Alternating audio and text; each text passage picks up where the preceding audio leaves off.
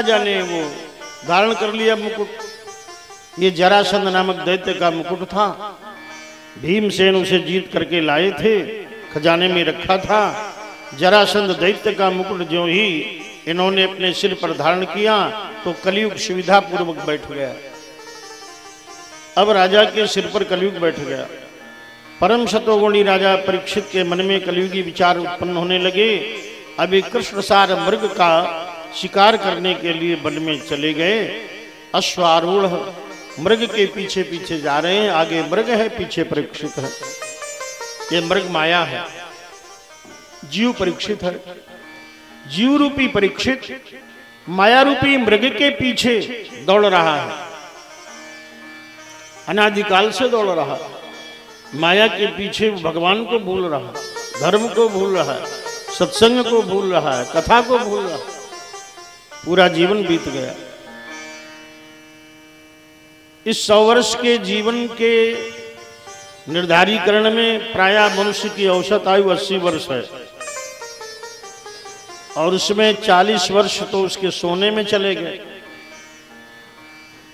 15 वर्ष लगभग बाल, काल में बाल क्रीड़ा में चले गए। बहुत समय युवावस्था के प्रमादों में चला गया। संसार के प्रपंचों में, कार्यों में बहुत समय चला गया। कितना समय है जो भगवान के लिए कितना समय निकाला, है? अब कितना समय बचा है? जन्म तेरो, बातों ही बीत गयो।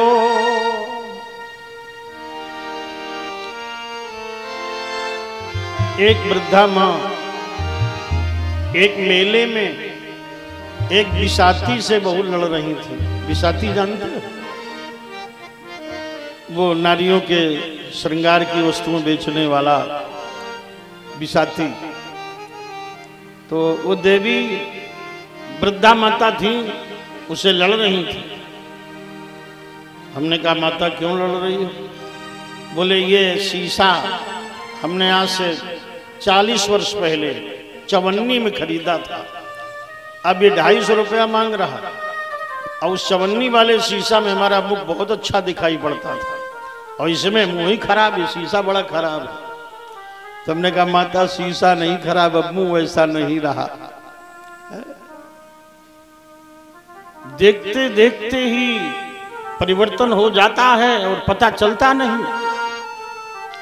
है?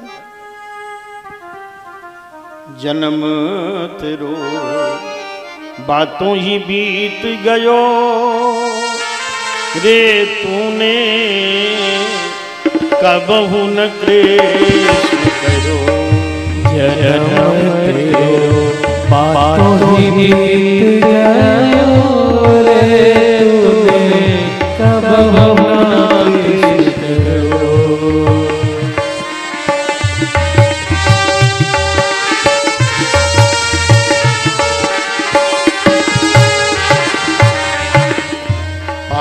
बरस का भोला भाला। भोला अब तो बीस भयो। मकर पचीसी माया कारण मकर पचीसी देश विदेश गयो। ऋतु में कब उन कृष्ण कहो जय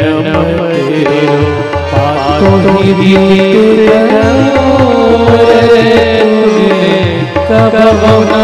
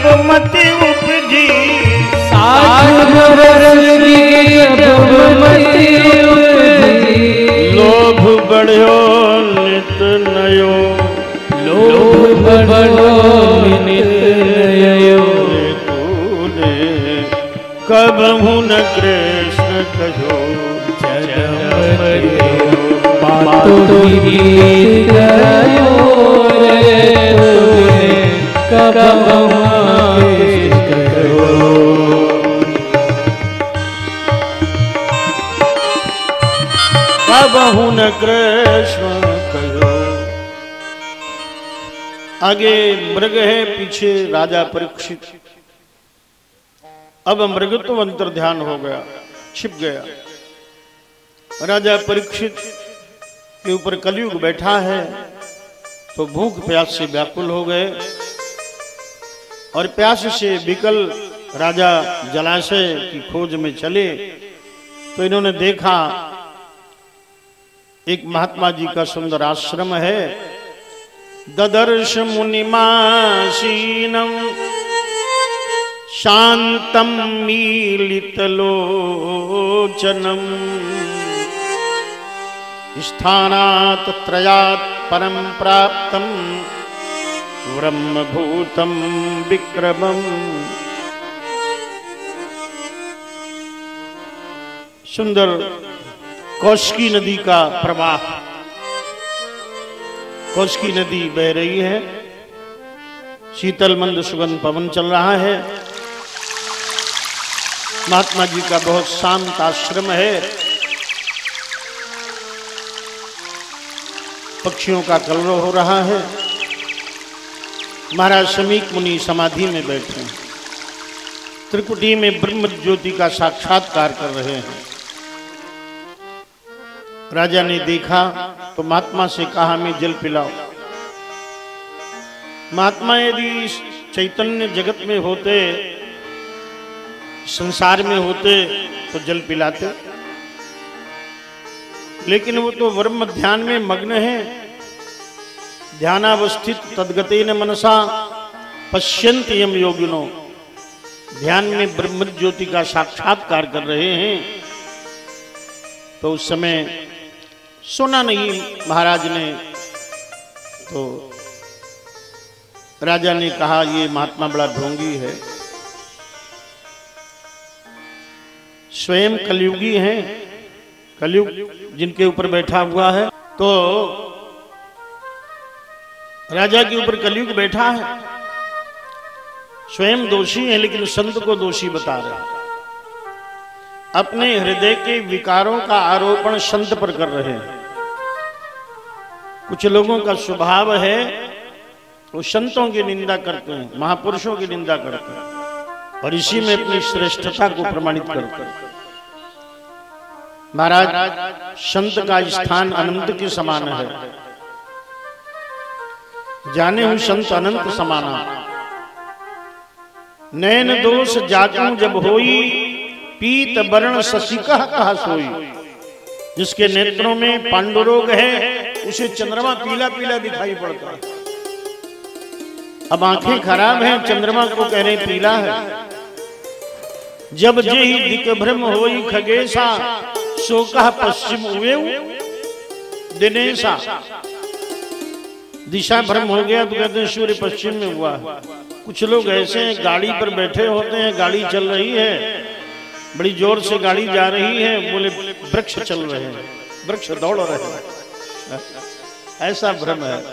नौका रूढ़ चलत जग देखा। स्वयं भ्रम है, लेकिन दूसरे पर, संत पर आरोपित करते हैं।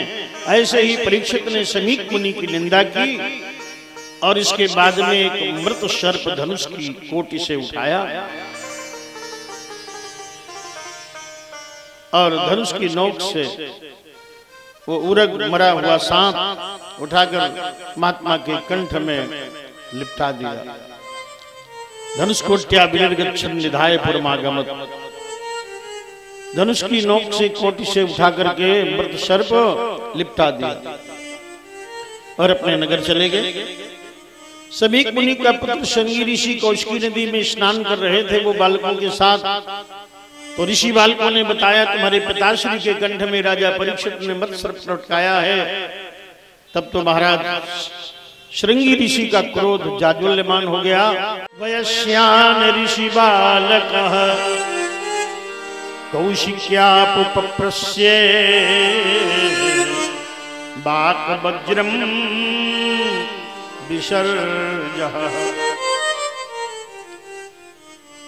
जिसके नेत्र लाल हो रहे हैं, क्रोध से। रोज ताम्राक्ष नयन। हाथों में लिया कौशकी नदी का जल और राजा परीक्षित को शाप दे दिया। इति लंघित मर्यादम। तक्षक सप्तमे दंशतस्म कुलांगारम चोदितो मे तद्रुहम मर्यादा का उल्लंघन करने वाले राजा परीक्षित।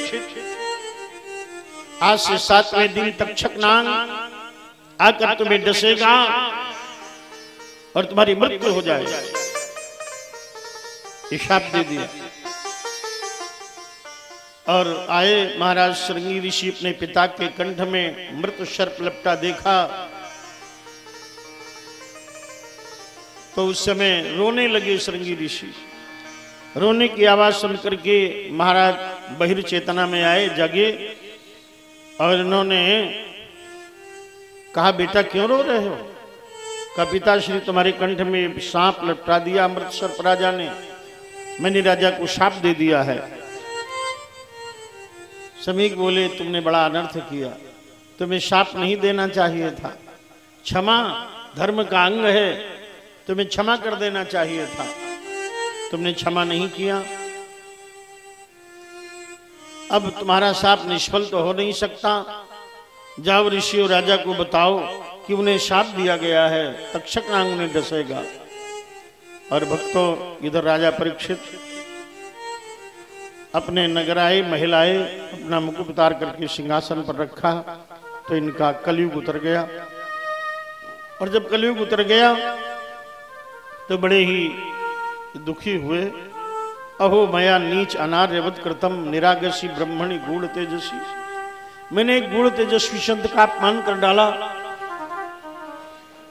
मैं बड़ा पापी हूँ। मैंने एक ब्राह्मण का एक संत का अनादर कर दिया। मेरे पाप का क्या प्रायश्चित होगा, क्या परिणाम होगा? इस प्रकार से राजा दुखी हो रहे हैं। आइए। राजा बड़े दुखी हो रहे हैं। महाराज, उस समय ऋषियों ने बताया, राजन, आपको सातवें दिन श्रृंगी ऋषि का साप है सर्प डसेगा, तक्षक, नागराज तक्षक दसेगा जिससे तुम्हारी मृत्यु हो जाएगी। राजा ने कहा, चलो, हमारे पाप का प्रायश्चित हो गया। अब हमें इस पाप से त्राण मिल जाएगा। राजा ने सभा जोड़ी, सबसे बड़े पुत्र चार पुत्र हैं राजा परीक्षित के। सबसे बड़े पुत्र का नाम जनमेजय। जनमेजय को राज्य दिया, तिलक किया, मुकुट धारण करा दिया और मंत्रियों को कार्यभार सौंप करके राजस्वी वस्त्र उतार दिए और पैदल ही माँ गंगा की ओर चल पड़े। उनकी रानी देवी इरावती रोते हुए जा रही है, पुत्र रो रहे हैं, परिजन पुरजन रोते हुए पीछे जा रहे हैं। राजा ने कहा, आज आप लोग हमारे साथ चल रहे हो। सातवें दिन जब हम जहाँ जाएँगे, वहाँ मेरा कोई साथी नहीं होगा। अकेला ही जीव आया है, अकेला ही जाएगा। ज़िंदगी में हज़ारों का मेला जुड़ा, हंस जब जब उड़ा तो अकेला उड़ा अकेले ही आए हैं, अकेले ही जाना होगा, कोई साथी नहीं होगा। साथी सब यहीं छूट जाएँगे। सबके डेरे उजड़ जाएँगे, मेले ऐसे ही बिखर जाएँगे। द्रव्याणि भूमौ पशवश्च गोष्ठे, नारी गृहद्वारी जनाः श्मशाने देहस्थितायां परलोक मार्गे धर्मो ही गच्छति तद जीवे कहा ये धन धरती में पड़ा रह जाएगा। नारी घर की देहरी तक साथ देगी। द्रव्याणी भूमो पशवश्च गोष्ठ धन धरती में गड़ा रह जाएगा, पशु पशुशाला में बंधे रह जाएँगे। नारी घर की देहरी तक साथ देगी, लोग श्मशान तक चलेंगे। ये देह ये देह चिता तक चलेगा। देह चितायाम। और चिता में जब दे रखी जाएगी जाकी तुष्टि पुष्टि हेतु नाना भोग भोगे। बलिदान अनेक जीवन के किए गए। बलिदान अनेक जीवन के करे गए। जाकी प्रसन्नता हेतु विविध भोग भोगे। छो आचारु चंदन रुचिर चुपरे गए। ताही इस देह पर मयंक मशान बीच। बड़े बड़े लक्कड़ ढकेली के धरे गए। निर्ममता पूर्वक लकड़ी धर दी जाती है और बाँस से सिर फोड़ दिया जाता है। ये देह का अंत है। सिर दर्द नहीं सह सकते, वहाँ सिर पर बाँस मारा जा रहा। हुँ? ऐसी स्थिति। सबकी होनी है, और फिर भी देह से इतना मोह है। महाराज कहते हैं, देह से मोह, इतना प्रेम करो कि भगवान की सेवा होती रहे। ठाकुर जी की सेवा, धर्म के कार्य होते रहे, इतना शरीर से नाता रखो। ऐसा शरीर बना रहे जो भगवान की सेवा, संत सेवा होती रहे।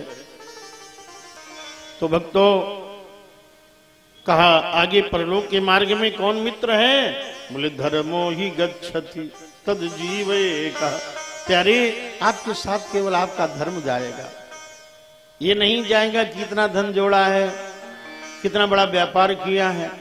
ये जाएगा कि कथा कितनी सुनी, सत्संग कितना किया, भजन कितना किया, धर्म कितना किया, दान कितना किया। धर्मो ही गच्छति। ये वेद वाक्य काट्य है। धर्म ही साथ जाता है। और कुछ भी साथ जाने वाला नहीं है। तो जो साथ नहीं जाता है, उसको तो समेटने में लगे। हम्म? और जो साथ जाएगा, वो बहुत कम लोग कर रहे साथ में क्या जाएगा? है? धर्म। तो धर्म करिए। धर्म के कार्यों में निरंतर लगे रहिए। धर्मम भजस्व सततम। त्यज लोक धर्मान। धर्म करो। राजा ने सबको वापस किया, कुछ लोग उनके साथ गए और माँ गंगा का तट आ गया। भगवती तब तीरे, नीर मात्रा शनो हम विगत विषय कृष्ण मारा भया सकल कलुष भंगे, स्वर्ग सोपान संगे। तरल तल तरंगे मातु गंगे प्रसिद। आज मिया गंगा का कल कल प्रवाह बह रहा है। राजा परीक्षित माँ गंगा के चरणों में लौट गए। माँ, तुम्हारे तट पर सात दिन केवल जल पीकर भगवान कृष्ण की आराधना करूँगा। कृष्ण महाराधयाम ये शंकराचार्य जी ने प्रार्थना से श्लोक में की।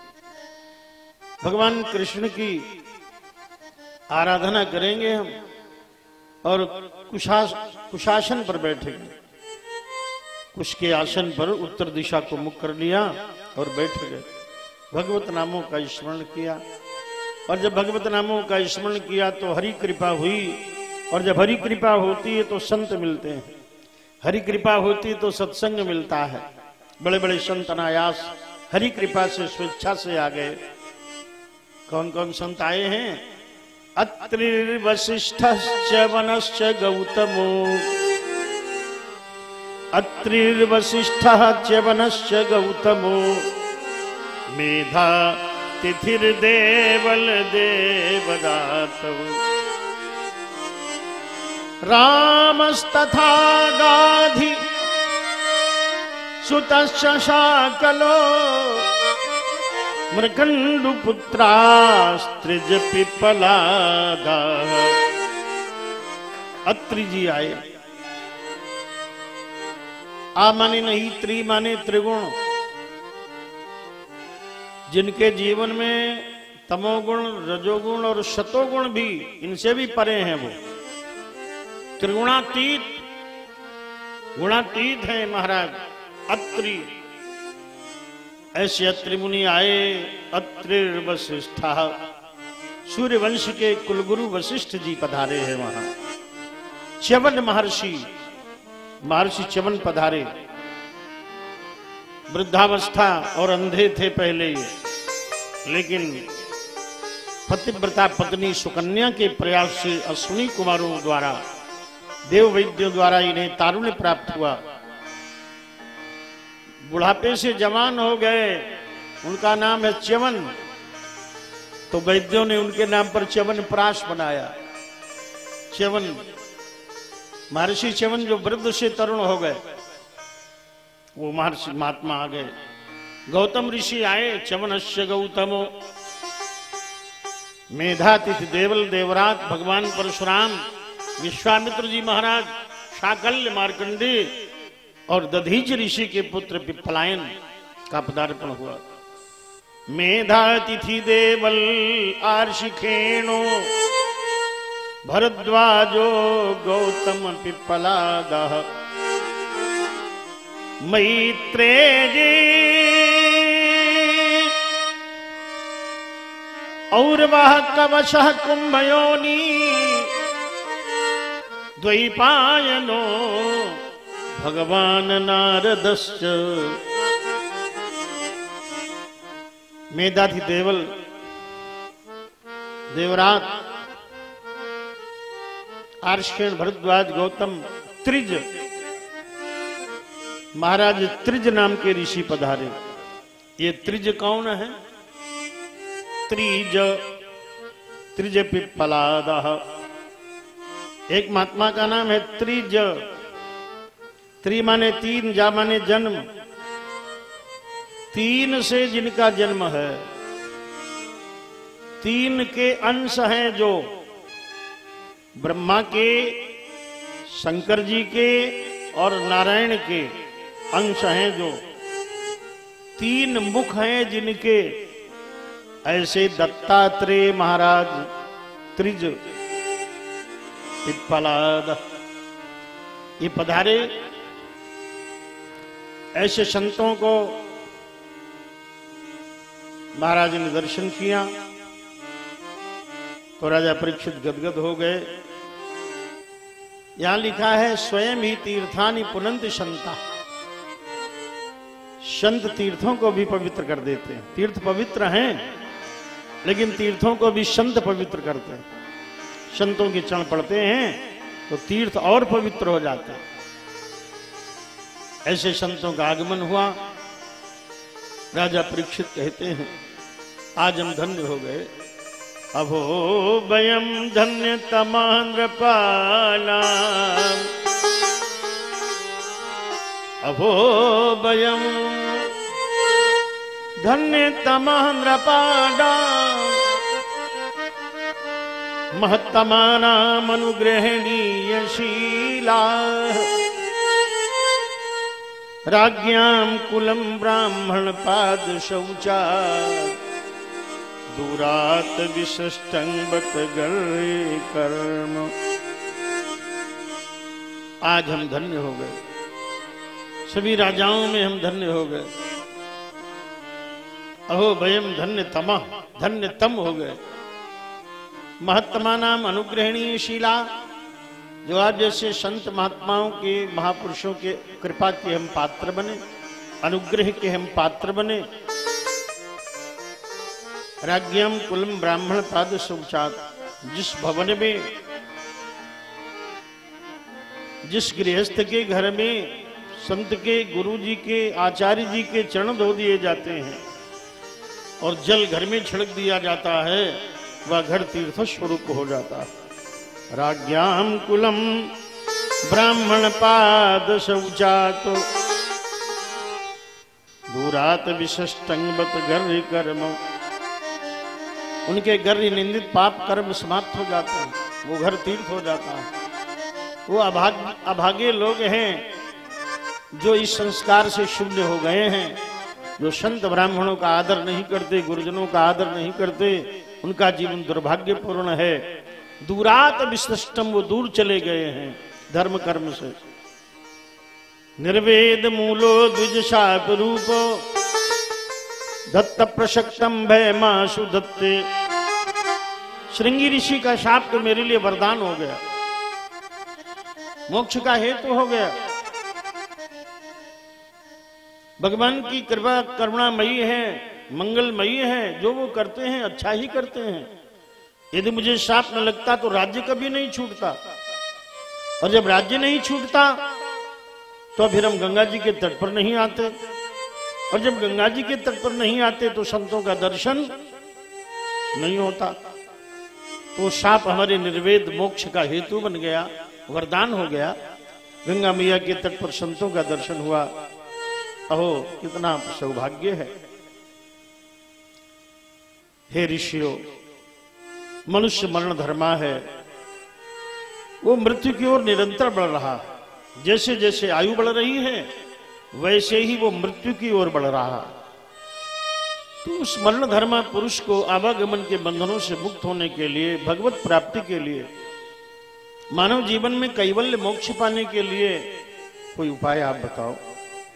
हे ऋषिश्वरो, आप जीवन मुक्त योगी हैं। आप परमहंस हैं, ज्ञानी हैं। आप बताएँ, सातवें दिन हमें तक्षक नांग डसेगा। तक्षक नांग के द्वारा डसे जाने पर भी जब हमारी मृत्यु हो तो हमें बैकुंठ मिले। ऐसा मार्ग हमें आप बताएँ। महात्मा लोग सोच रहे हैं, मैंने लाखों वर्ष, हज़ारों वर्ष तपस्या की, और वो सम्यक रूपेण मार्ग हम प्राप्त नहीं कर सके। और जो पाया भी है, वो बहुत साधना का विषय है। सप्ताह की अल्पावधि में राजा परीक्षित को हम मोक्ष का मार्ग कैसे दे दें? विचार करने लगे। कोई बोल नहीं पा रहा, बता नहीं पा रहा। इतने में देखा एक संत जी और चले आ रहे हैं। तत्रा भवद भगवान व्यास पुत्रो। यदृच्छया गाम अटमानम अनपेक्षा। अलक्षिलिंगो निज लाभ तुष्टो। व्रतस्य बालैरवधूत वेशः तत्राभवत् भगवान व्यास पुत्रो भगवान वेद व्यास जी के पुत्र सुखदेव जी का आगमन हुआ है। तत्राभवत भगवान व्यास पुत्रो भगवान व्यास नारायण के, व्यास भगवान के पुत्र का पदार्पण हुआ। यदृक्षया स्वेच्छा से इस पृथ्वी पर पर्यटन करते भ्रमण कर रहे हैं। यदृक्षया गाम अटमानो अनपेक्षा, किसी प्रकार की उन्हें अपेक्षा नहीं है किसी से। किसी से कोई कामना नहीं है इनको। अनपेक्षा अनपेक्षा है। कोई अपेक्षा नहीं है संसार से। किसी धनिक की चाटुकारिता नहीं करते। हाँ। ये संतों में सदगुण बहुत दुर्लभ है और जिनमें है वो महा, महान है जीवन मुक्त। किसी धनिक की चाटुकारिता नहीं करते कोई कामना नहीं है। कोई कामना नहीं कि किसी की हम संसारी व्यक्ति की मिथ्या प्रशंसा करें। है? केवल भगवत गुणगान करते हैं। कोई अपेक्षा नहीं है। संसार से कोई कामना नहीं है। लंगोटी भी नहीं लगाए हैं। कोई कामना ही नहीं। ऐसे महाराज, अनपेक्षा अपेक्षा रहित हैं। अलक्ष्य लिंगो जिनके शरीर पर कोई किसी संप्रदाय का चिन्ह नहीं है। शैव, वैष्णव शाक्त रामानंदी, कृष्णानंदी, कोई भी चिन्ह धारण नहीं किए हैं। ऐसे परमंश गति में हैं। जपमाला छापा तिलक से दूर है जपमाला छापा तिलक चिन्हों से दूर अलग से लिंगो, कोई भी चिन्ह नहीं धारण किए हैं। परमंश अवधूत गति में है। निज लाभ तुष्टो अपने आप में ही पूर्ण है। अपनी आत्मा में संतुष्ट है। कोई कामना ही नहीं है। और बालकों जैसा स्वभाव है व्रतस्य बाल बालक निर्मल होता है। इसलिए सुखदेव जैसे संत बाल स्वभाव में रहते हैं। अवधूत वेशा, अवधूत वेश में है तम वर्षम सुकुमार पाद। करोरुबाभम शकपोल गात्रम दिगंबरम।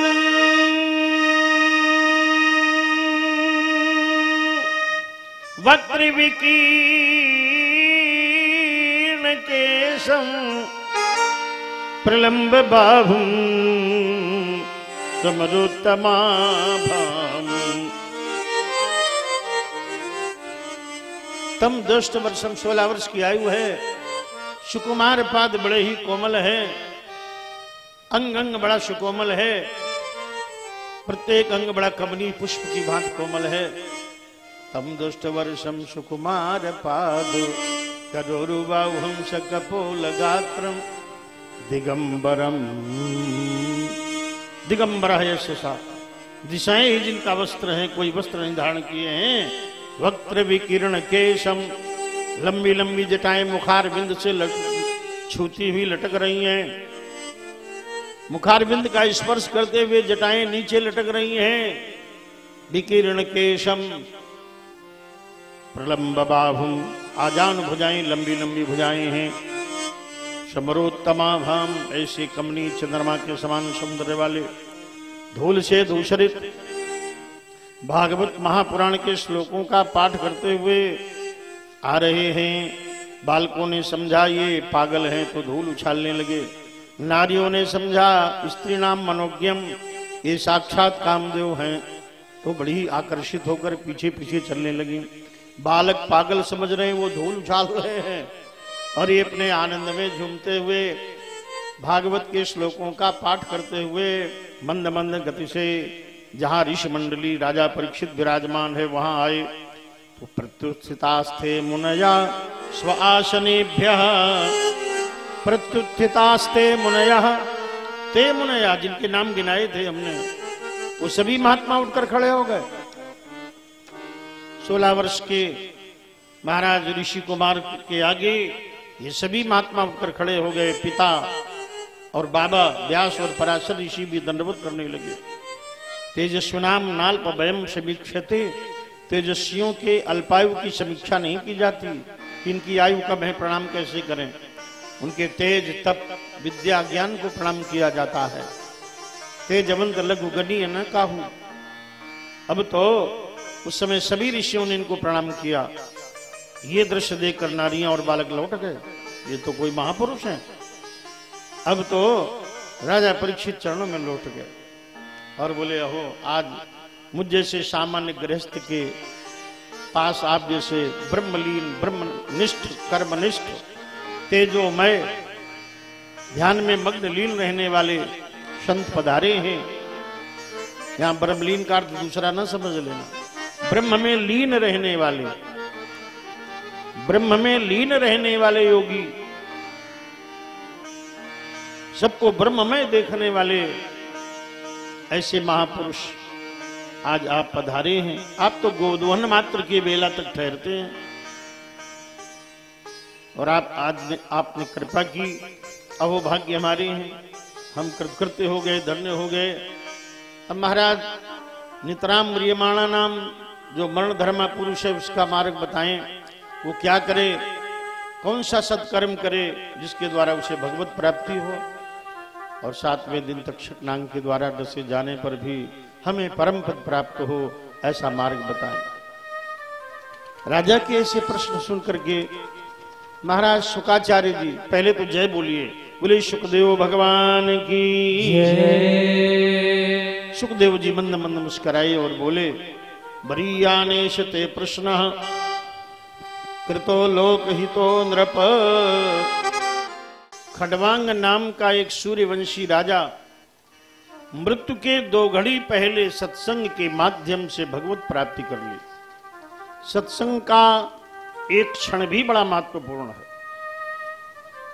और जो सात दिन सत्संग करेंगे तो क्यों नहीं मोक्ष प्राप्त होगा?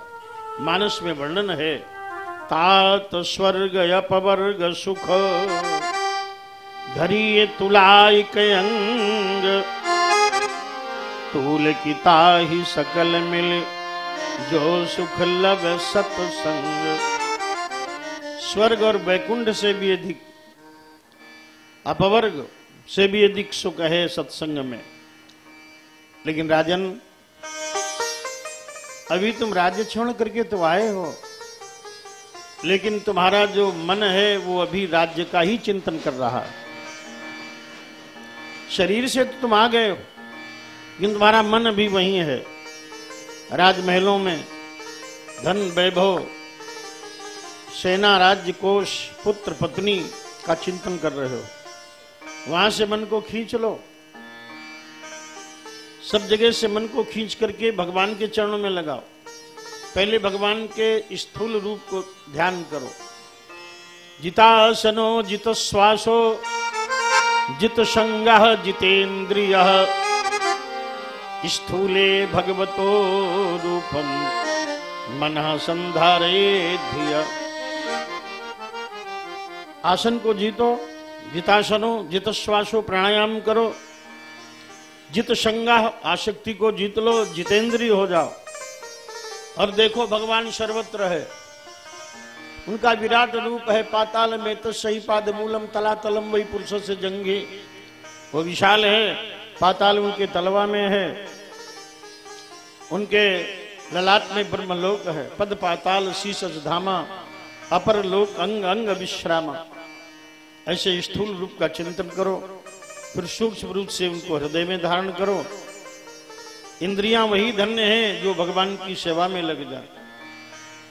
द्वितीय स्कंद के तृतीय अध्याय का बीसवा श्लोक है, बिले बतोरुक्रम विक्रमाने, न शृण्वतो कर्णपुटे नरस्य, जिह्वा सती दादुरिके वसूतो।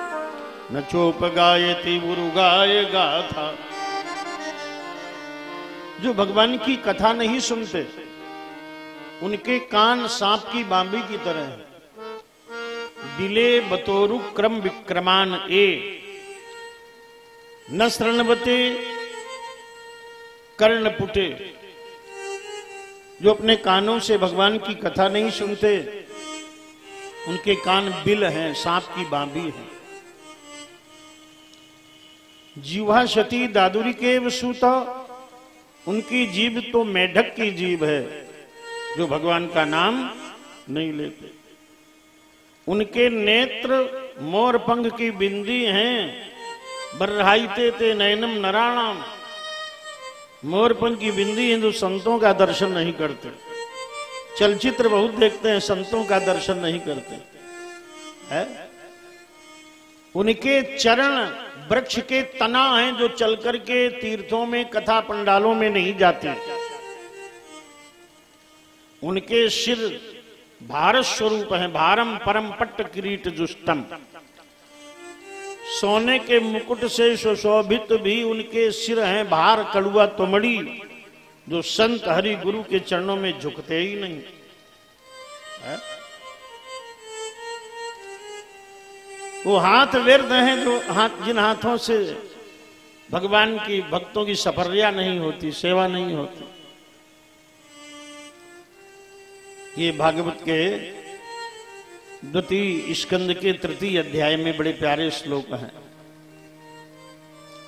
और इनका अक्षरशा अनुवाद हमारे पूज्य पूज्यपाद गोस्वामी जी ने किया है। जिन हरि कथा सुनी नहीं काना।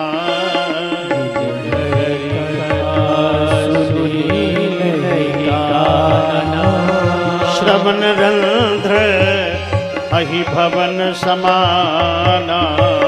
श्रवण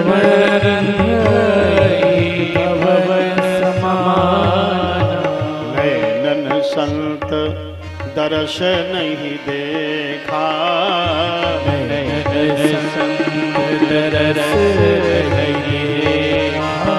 लोचन मोर पंख कर लेखा।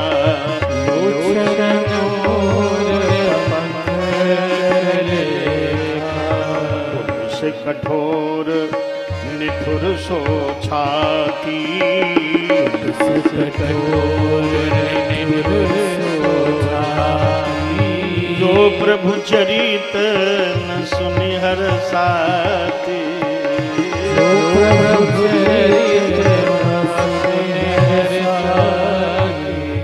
सिर कटु तुम्बरे समतूला।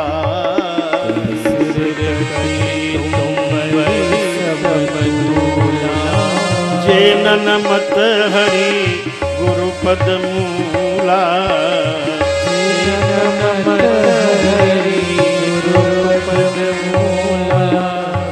कुलिस कठोर निठुर सो छाती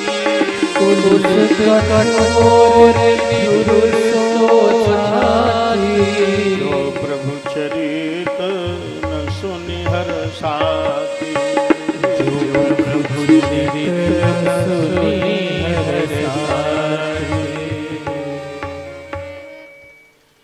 महाराज श्री सुखदेव जी ने राजा परीक्षित को षष्ठ वर्णन सुनाया। यहाँ महाराज तीर्थ यात्रा में विदुर जी को उद्धव जी मिले हैं।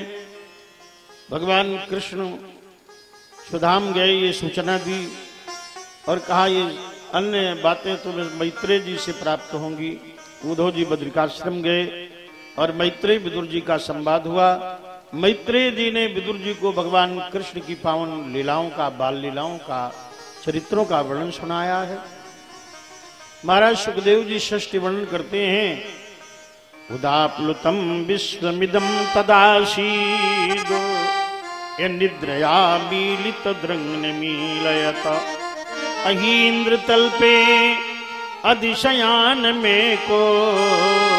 कटक्षणा स्वात्मरतो निरीह महाप्रलय का दृश्य था, अनंत सृष्टि जलमग्न हो रही थी। उस समय भगवान नारायण से सैया पर शयन कर रहे थे।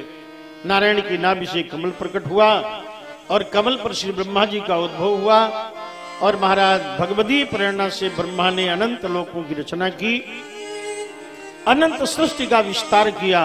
अनेक लोक, अनेक सूर्य चंद्रमा दिन रात संवत्सर अयन काल चक्र का विभाजन, वन्य विरुद्ध तुक्षारु मंत्रपूत शरीर धारण किया। विचार मग्न ब्रह्मा के दोनों भवों के मध्य से रुद्र भगवान उत्पन्न हुए। रुद्र रुद्र, ग्यारह रुद्र, ग्यारह रुद्राणियाँ। ब्रह्मा जी ने देखा, ये बड़ी घोर सृष्टि है, उसे भी उन्होंने बंद किया।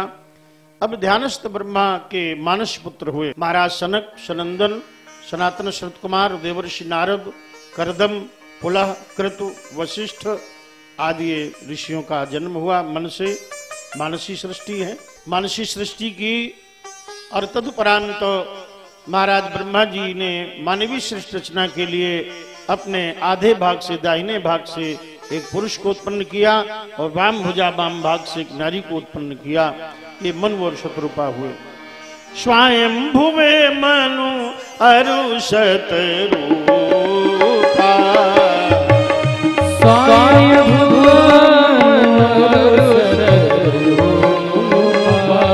जिनते भई नर सृष्टि अनुपा। मनु और शत्रुपा के द्वारा तीन कन्याएँ हुई, आकृति, देवहूति, प्रसूति। आकृति का विवाह प्रजापति ऋषि के साथ हुआ, जिससे यज्ञ भगवान का उत- उत- उत्पन्न हुए, प्राकट्य हुआ। बोले, यज्ञ भगवान की, इनकी पत्नी का नाम हुआ दक्षिणा। यज्ञ की पत्नी का नाम है दक्षिणा। दक्षिणा के बिना यज्ञ पूरा नहीं होता। और अब दूसरी कन्या है देवहूति। देवभूति पुनिता सुकुमारी जो मुनि करदम की प्रिय नारी। जो मुनि करदम की प्रिय नारी। जो मुनि करद प्रिया बिंदु सरोवर पर तपस्या करते हुए मानस पुत्र करदम को भगवान ने दर्शन दिए, उनके मन में विवाह इच्छा हुई। महाराज ने वरदान दिया, परसों तुम्हारा विवाह हो जाएगा। और महाराज स्वयंभू मनु और शत्रुपा अपनी कन्या देवहूति को लेकर वहाँ गए और बोले, महाराज, यदि आप गृहस्थ बनना चाहें तो अपनी कन्या का विवाह हम आपके साथ करेंगे। महाराज करदम मुनि बोले, इस कन्या को देख करके विश्वावस नामक गंधर्व अपने विमान से भूमि पर गिर पड़ा था। ऐसी सुंदरी आपकी कन्या है, हम विवाह अवश्य करेंगे। लेकिन एक शर्त है, एक पुत्र उत्पन्न हो जाने के बाद हम दंडी सन्यासी हो जाएँगे, संत हो जाएँगे। यदि तुम्हारी कन्या को, माधव, यदि तुम्हारी कन्या को ये शर्त स्वीकार हो तो हम विवाह करें। तो सहमति दे दी देवहूति ने। अब इनका विवाह हुआ, विवाह के बाद में करदम जी समाधि में चले गए। अब देवहूति अपने पति की सेवा करती, आश्रम को स्वच्छ करती। ऐसे कालांतर बीत गया, देवहूति का शरीर कृष हो गया। सुंदर केश राशि लताएँ बन गई, चपक गए बाल आपस में। महाराज करदम ऋषि की समाधि खुली तो करदम ऋषि ने देखा, देवहूति का सौंदर्य न जाने कहा चला गया। तो उन्होंने कहा, देवहूति, तुम बिंदु सरोवर में स्नान करो।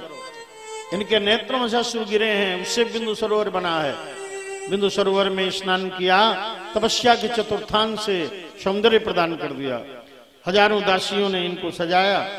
सुंदर देवी की भांति सुशोभित हो गई देवहूति। और तब महात्मा ने कर्द, करदम ऋषि ने अपनी तपस्या के चतुर्थांश से एक कामक विमान का सृजन किया। कामक माने इच्छाचारी, जहाँ कह दो वहीं पहुँच जाए। ऐसा विमान उन्होंने निर्मित किया। उसमें विश्व के वैभव की समस्त सामग्री भरी थी। उसी में ये विराजमान हुए दोनों, महाराज करदम और ये देवहूति और गगन मंडल में विहार करते हुए, आकाश में विचरण करते हुए इनके नौ कन्याएँ हुई हैं।